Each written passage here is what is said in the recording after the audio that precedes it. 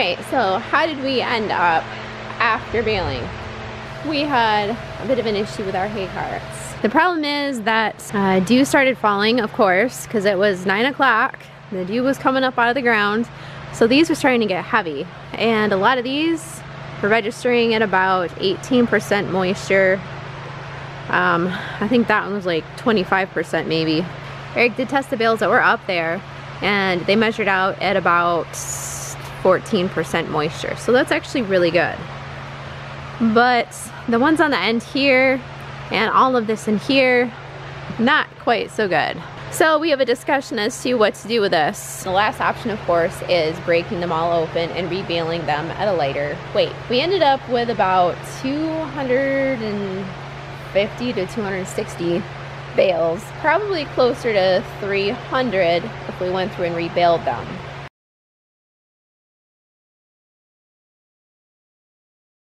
Because usually we shoot for about 50 pound bales, maybe 55, 60.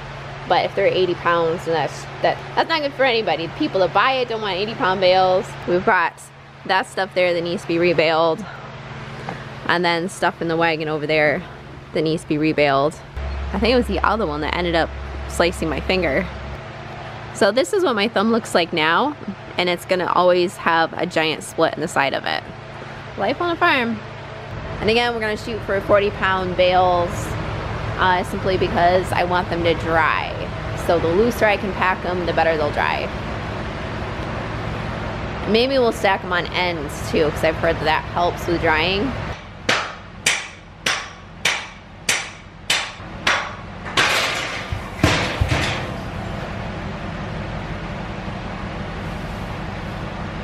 Okay, now that we got that out of the way, yeah.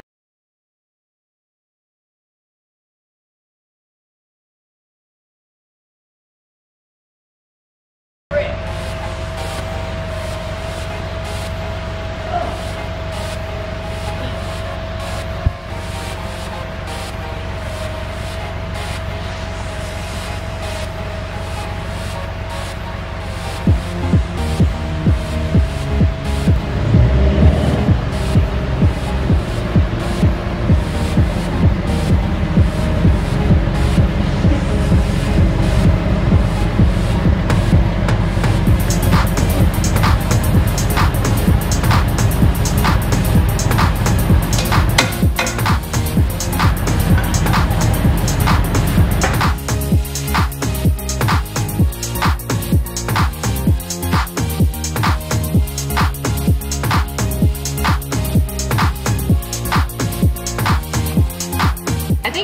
wanted, you could probably build a house with these things and have some great insulation. The R value is extremely high on these things.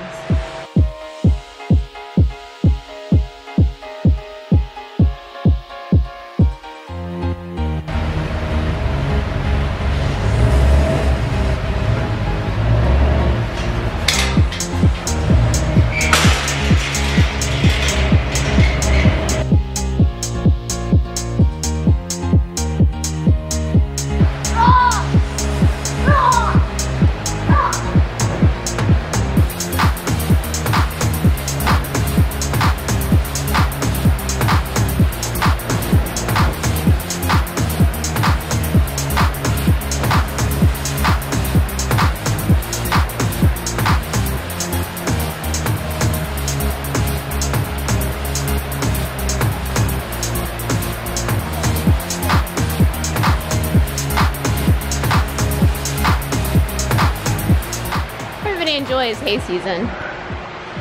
The cats, the kids. Yeah, pretty much those two.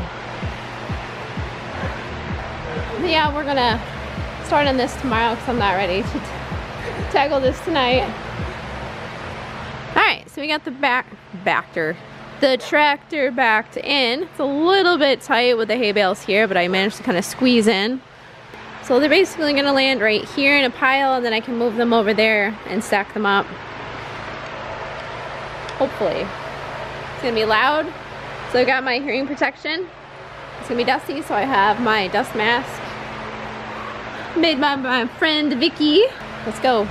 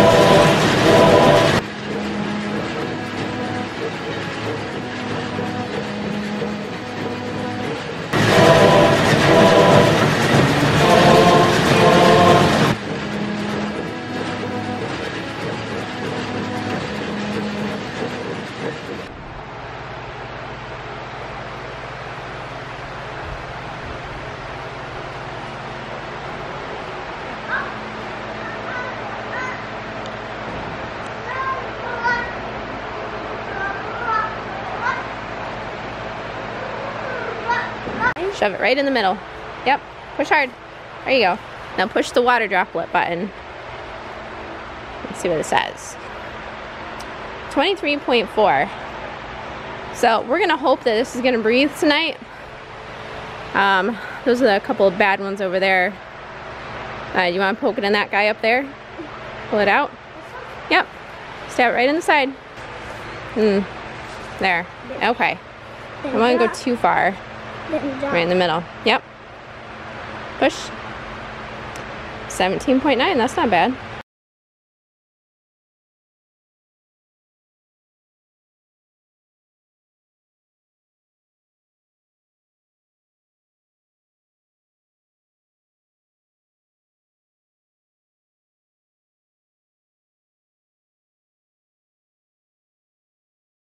The horses got a whole pile of hay out here. Oh, I see, it's out there.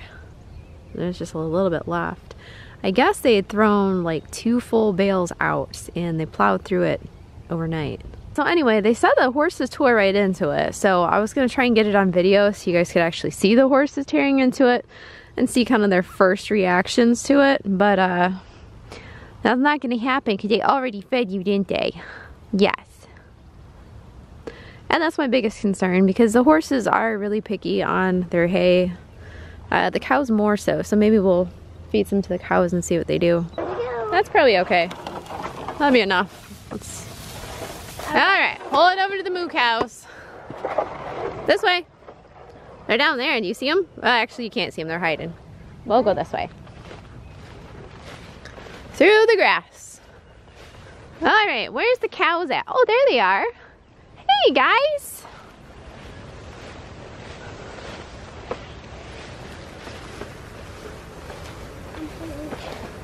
Oh, watch out for this. Mom's little thing fell over. What? Mom's fence fell over. What you girls doing? They said, we thought we are going to the butcher tomorrow, Mom, so we're getting ready. Sorry, ladies, you gotta wait till next week. Man, need some major mowing out here. It's gonna be shorting my fence out. Okay, there you go. Do you wanna put it right here? Yeah. Scoop some out and put it right through the bars. Put it right here. Yeah, shove it right through that hole. There you go. Let's see if she wants it. Oh, it looks like it's ginger approved. What's that? That's a cow. Do you want to snip you? So they don't want the celery, but they like the hay. There you go, good job. Ooh. So this is what we want to see. We want to see that it's cow approved because they are literally the pickiest eaters. More so than the horses. Plus they still have delicious grass out here to eat. Oh yeah, yeah, tasty. Oh, is that tasty? Yes, I know. It's made with lots of love. Yes, it was.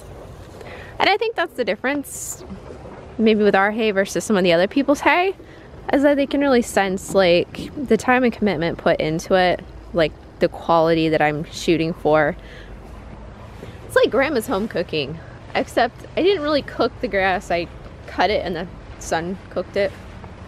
But you know, grandma's home cooking, like some of you have like amazing cooks for grandmas and some of you don't.